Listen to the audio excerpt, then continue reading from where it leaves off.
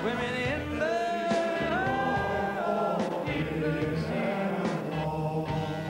Gaan we dit wat anders, hè?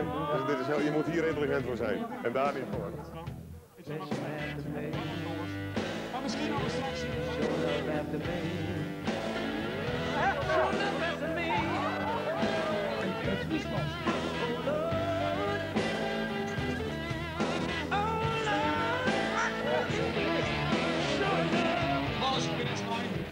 begin van zijn carrière op topniveau presteert.